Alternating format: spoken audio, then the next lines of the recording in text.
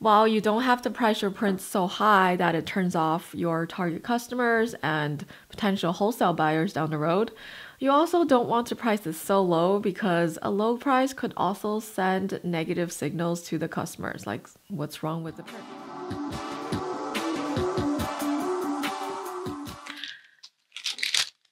How much do you think this piece of art print is worth? $5? 50 500 We've all seen art prints priced in all of the above ranges and even much higher, but at the end of the day, it's just some ink on a piece of paper, right? This is a tough question to answer, pricing your art print. Back in business school, there was a whole class dedicated to pricing strategy for products that involved a lot of formulas and frameworks. Pricing our own art can be extra tricky because we're too close to the problem as the artist. And it's not an objective problem because technically there's no right answer.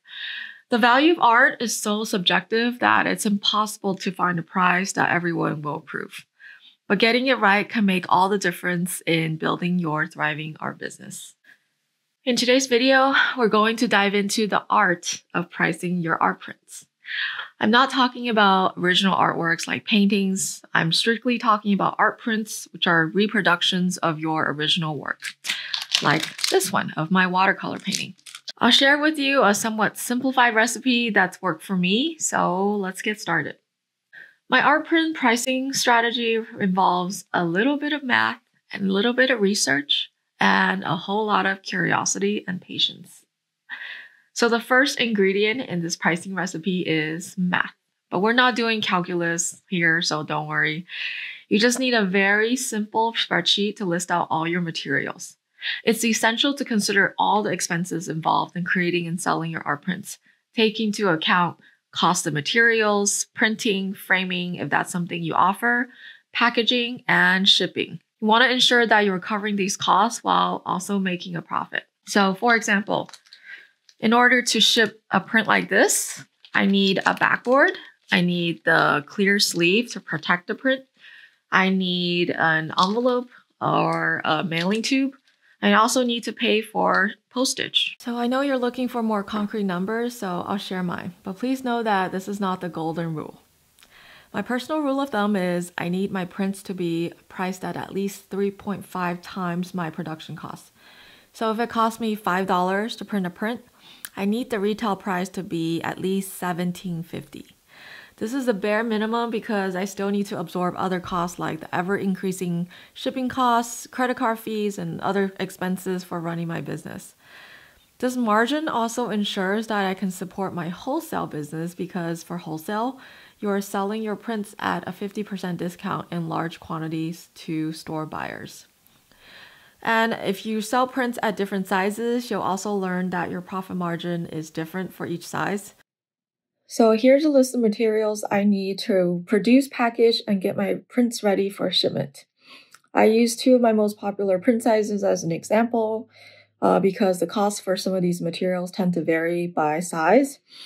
Uh, notice here that I've also added a 15% margin of error because I wanted to be on the conservative side and round up my cost.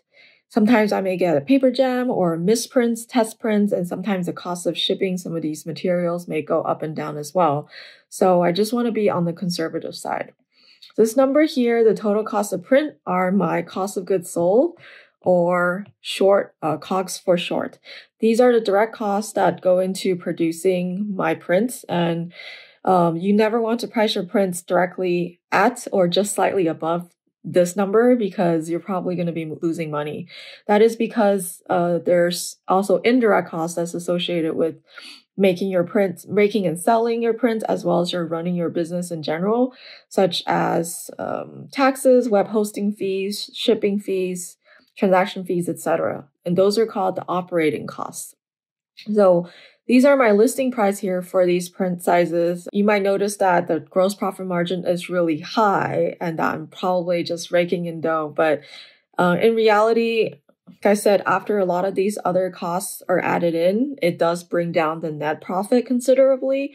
For example, I've often have to absorb my shipping costs on behalf of my customer because nowadays uh, it might cost, you know, five to seven dollars to ship a print with tracking number, but I'm only charging them four to five dollars per print.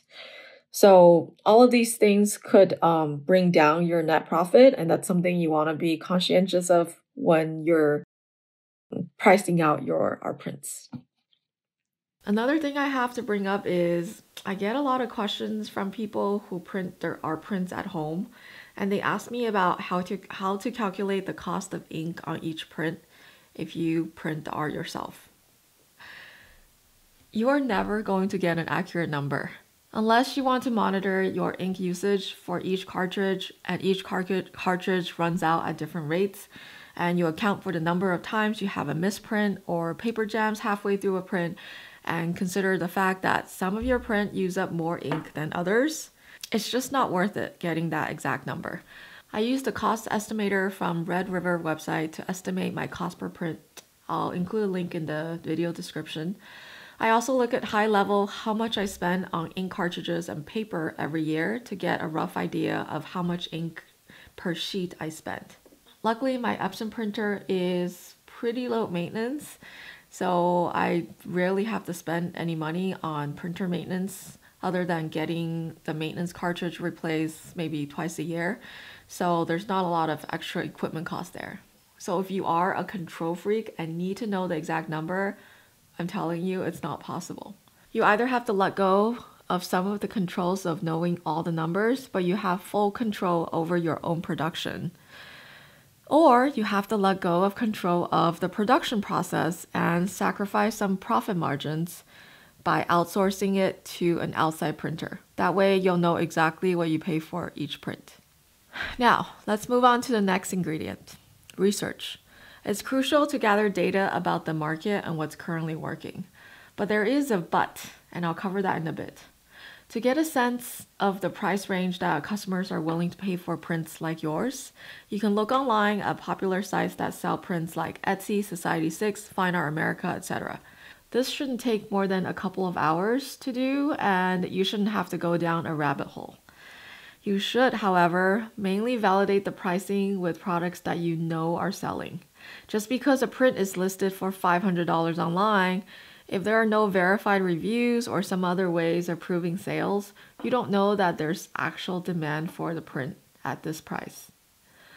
For this market research, I also don't recommend using only Etsy as your preference as your reference point, even though they do provide sales numbers and reviews, which is very helpful. My reason is a lot of times the sellers on Etsy will price the prints according to what everyone else is doing on Etsy, but it doesn't mean that that is the true market acceptable value for your print outside of Etsy. In fact, sometimes by pricing your prints too close to everyone else's, it makes your works kind of just blend in. Take note of the prices and factors that you think differentiate higher price prints from lower price ones. This research will help you position your prints competitively in the market. Product positioning is a whole other topic that I don't have the time to cover in this video, but let me know if you're interested. The final pair of ingredients in our pricing recipe is curiosity and patience. Determining the right price for your art can be intimidating, but it's important to believe in the value of your work. While you don't have to price your prints so high that it turns off your target customers and potential wholesale buyers down the road, you also don't want to price it so low because a low price could also send negative signals to the customers, like what's wrong with the print. Remember, pricing your art is not an exact science. It's an ongoing process of trial and error, which requires you to be patient while seeing how the market responds. Try different ways of selling, like online, on marketplaces like Etsy, and at in person events like art and craft fairs. If you're just starting out, selling at these in person events will be the fastest way to get customer feedback on whether you are pricing it right or wrong. I understand that it's hard to have the confidence to stand behind your prices when you haven't had many sales yet which is why the most important thing that you need is to approach it with curiosity rather than seeing it as a test of your self worth as an artist. I know, I know, it's harder said than done, but be open to adjusting your prices based on feedback from customers and market trends. and the changing cost of your production. Try to embrace the journey and be kind to yourself. Remember, pricing your art is not a one and done deal. It's an ongoing process of learning and adapting. So, while we should all encourage each other to price our worth, there is a spectrum between zero confidence and self delusion. And we should aim to start somewhere in the middle and adjust as we collect more data from other people. Remember, you don't have to have everything figured out, you just have to take the next step. Keep going, and I'll see you in the next video.